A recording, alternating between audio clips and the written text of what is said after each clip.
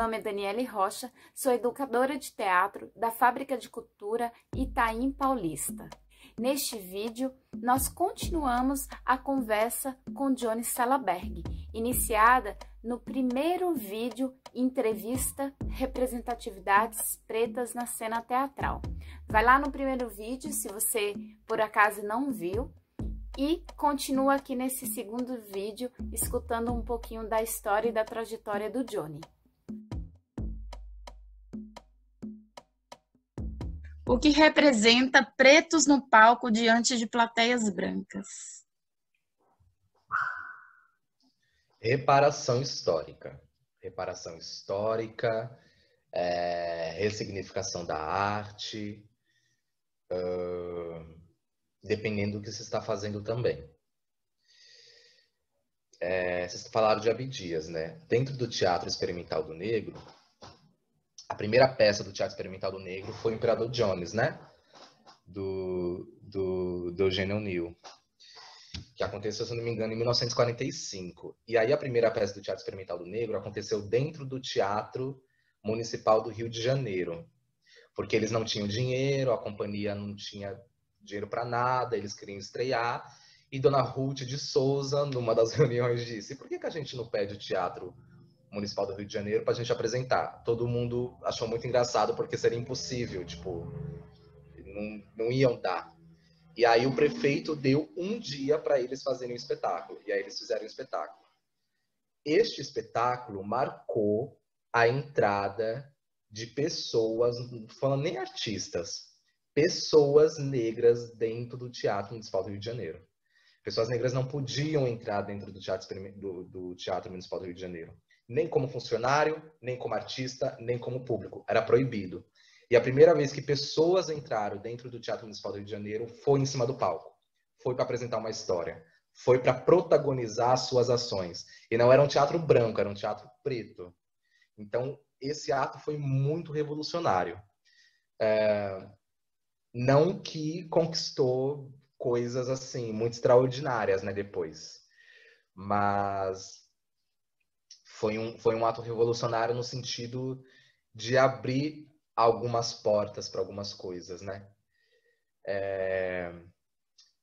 E, e toda vez que a gente vai ver uma peça em que a, a maioria dos atores e atrizes são brancos, eu, eu falando do meu lugar, eu como, como uma pessoa preta, para além da não representatividade, eu não vejo o porquê de estar ali. Porque eu não me. Se, se o teatro é, é a arte da, da, da identificação, como é que eu vou me identificar? Mesmo falando a mesma língua que eu, como é que eu vou me identificar com as mesmas coisas? Ainda ontem eu estava lendo a cantora Careca, né, do, do Ionesco. E eu tinha lido há muito tempo na escola, eu fui reler, e aí eu me lembrei o quanto é absurdo esse texto, no sentido. É uma sátira muito grande, assim, a burguesia e a branquitude, no sentido da gente ver quais são, é, quais são a, a, as verdadeiras preocupações, né?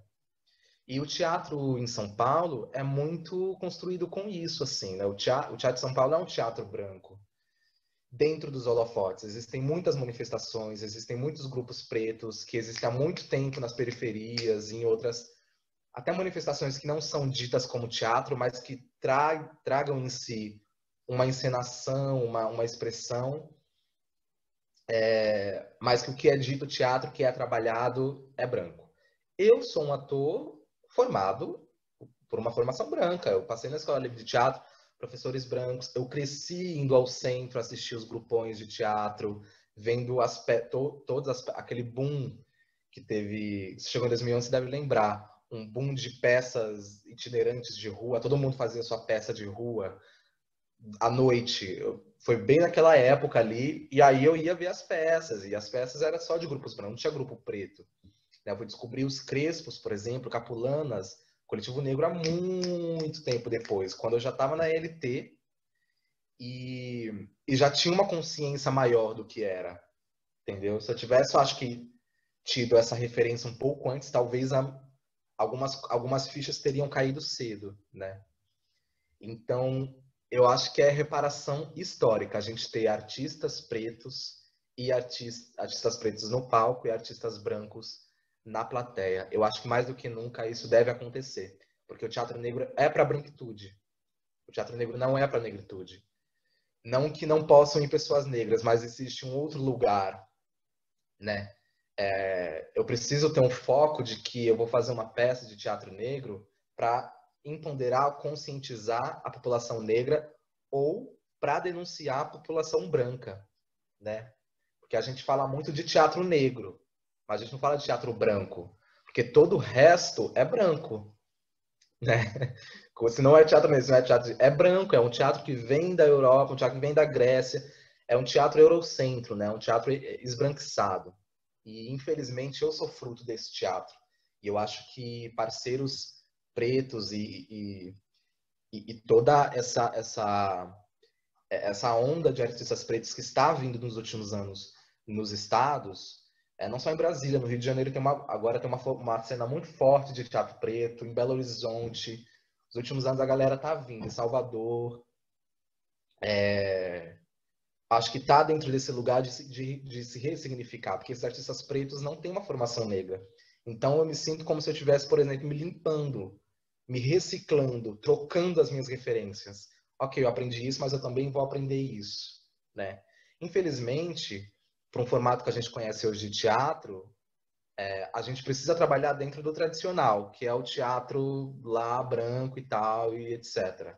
Até eu, quando vou fazer minhas peças, a, minha, a estrutura das minhas peças, o que eu penso enquanto concepção dramática, é dentro dessa formação, porque foi a minha formação, e é isso. O que eu pretendo fazer agora, o que eu estou fazendo, é tentar ressignificar para mim mesmo até, é tentar trazer outras referências, né? É...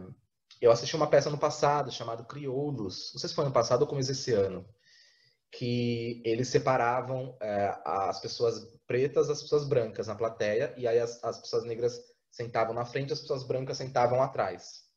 E na cadeira estava escrito é, branco, preto e tal, não sei o quê. E isso trazia um, uma estranheza, mesmo a gente imaginando, mas na hora, uma estranheza de, de de, deu assim na, na, plateia olhar assim só ver pessoas pretas e os brancos atrás, né? É... Então eu acho que cada vez mais a gente busca esse lugar, né? Eu não faço teatro, eu acho que o meu teatro é para as pessoas brancas. Não no sentido de formação, não vou formar ninguém, as pessoas tem que correr atrás, eu não sou professor de ninguém, já ralei muito na minha vida e não vou fazer esse trabalho. Mas no sentido de denunciar real. E porque eu acho que denunciando as pessoas brancas, eu empodero as pessoas negras, né? É... Existem muitas confusões, assim. Nem todos os artistas pretos fazem teatro preto e, e, são, e são escolhas. Tanto é que eu disse, né, quando eu acho que um grande marco na minha vida foi quando eu me descobri preto, artista preto. Eu sabia que eu era artista, eu sabia que eu era preto. Quando eu juntei as duas coisas, eu falei, ah, eu posso fazer uma parada. É... Então, trago assim esse fato do, do, teatro experimental do negro, porque eu acho que foi um episódio muito importante e que aconteceu em 1945. Se hoje está difícil, imagine em 1945, onde as pessoas não podiam nem entrar no teatro. Não, não tinha nem funcionário. Hoje em dia a gente vai nos teatros, os funcionários são todos pretos, né? Faxineiro, segurança, SESC, todo mundo, todos os funcionários subalternos são pretos. Mas antes não, nem isso, não era as pessoas brancas de elite não poderiam cruzar com essas pessoas dentro dessas instituições, né? Então o buraco era bem mais embaixo. E esse fato aconteceu.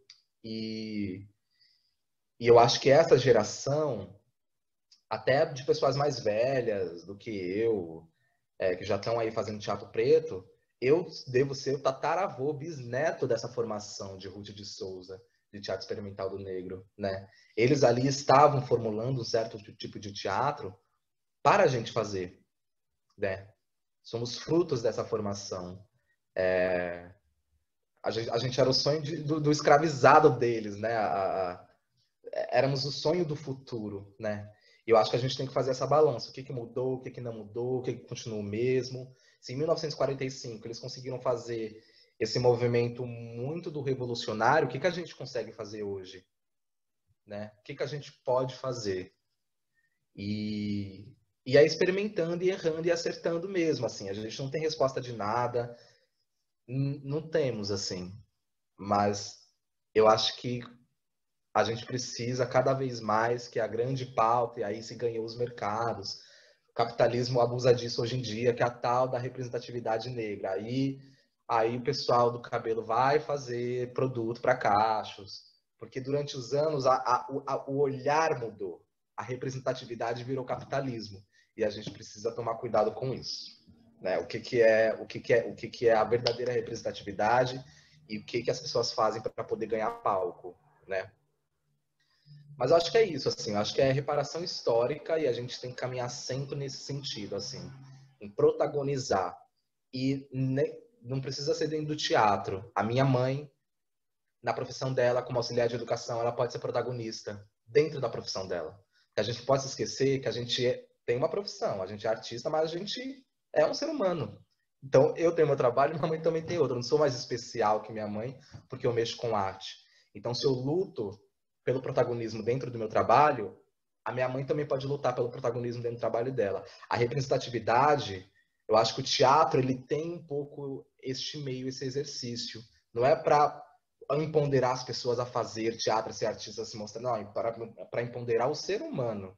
A pessoa pode ser engenheira, a pessoa pode ser professora, pode ser gari, pode ser o que quiser, mas que ela se empodere e que ela principalmente as mulheres negras, dentro daquela famosa frase, quando uma mulher negra se movimenta, a sociedade toda se movimenta junto, é, que as pessoas protagonizem as suas vidas, né?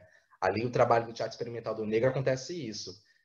As faxineiras, os porteiros, os seguranças que tinham aula dentro do Teatro Experimental do Negro, eles largavam as vassouras, largavam os radinhos, largavam os panos de chão e agarravam os objetos de cena e protagonizavam as suas vidas, né? Então acho que é isso, assim, acho que é nesse caminho de, de, de protagonizar que a gente se, se sinta roteirista da nossa própria história, né? É, deixa eu ver aqui. Que conselho, essa é a última, tá? que conselho o que dica, o que fala, você daria para os meus aprendizes das periferias do Itaim, da Vila Curuçá, que desejam a cena teatral? É, gente, se apeguem nos seus. A gente está aqui, eu sou acessível, eu, eu, me chamo Johnny Salaberg, eu tenho Instagram, tenho Facebook, me mande mensagem. A gente precisa cada vez mais é, tirar os nossos muros e tirar as nossas paredes. É... Então, assim, se apeguem, vamos criar laços, vamos construir isso junto. Porque, para mim, conquistar alguns, algumas coisas, eu conquistei, eu tive outros braços, eu tive outras aberturas, eu tive outras portas que alguém, assim, muito rapidamente falou: vem aqui que eu vou te ajudar. Então, a gente é, é, somos somos esse laço, somos esse, esse único laço, esses átomos de um conjunto só. Estou é, dizendo tudo isso para dizer que, obviamente, estudar, não desistir, sei que é muito difícil, grana pesa muito, família, aí mãe não sabe se vai dar dinheiro. Ah, é, eu sei, eu sei tudo isso. Uma coisa que eu falo pro vocacional, quando eu, que eu tô lá no, no, vocacional e as pessoas falam umas coisas, eu falo, gente, eu já, eu já eu comecei dentro do vocacional, eu sei o que vocês estão falando. Eu sei de tudo, não adianta vocês fazerem a linha. Então eu tô ligado do que é. Então vamos trabalhar junto, não tem não tem parede. Vamos, vamos tentar trabalhar tão falada horizontalidade que sempre falam, né? Vamos trabalhar, tamo junto. Eu sou pobre, eu sou preto, a gente está no mesmo barco. Então, é, é isso, assim, família não acredita, aí quando a família não acredita, a gente também não acredita, porque a gente também não tem apoio. Minha mãe falava para mim fazer outra faculdade, né? Johnny, por que você não vai fazer outra faculdade? Aí você ganha o seu dinheiro e vai fazer o seu teatro. E minha mãe falava assim, o seu teatro como se fosse um hobby, como se eu quisesse, assim, fazer teatro. E, é, e demorou um pouco para ela entender que era uma profissão quando ela começou a ver que eu comecei a ganhar um dinheiro, que os cachês começaram a chegar, é, que alguns trabalhos meus começaram a ganhar alguma visibilidade, aí ela viu potência, aí ela viu que poderia é, acontecer alguma coisa, né? E infelizmente a gente precisa dessa comprovação, assim. É... Mas é isso, assim, o que, o que eu deixo como, como conselho é não pedir licença para nada. A gente precisa estar em todos os lugares. Uma coisa que eu falo junto com o meu grupo de teatro, a minha cara preta vai estar em todos os lugares.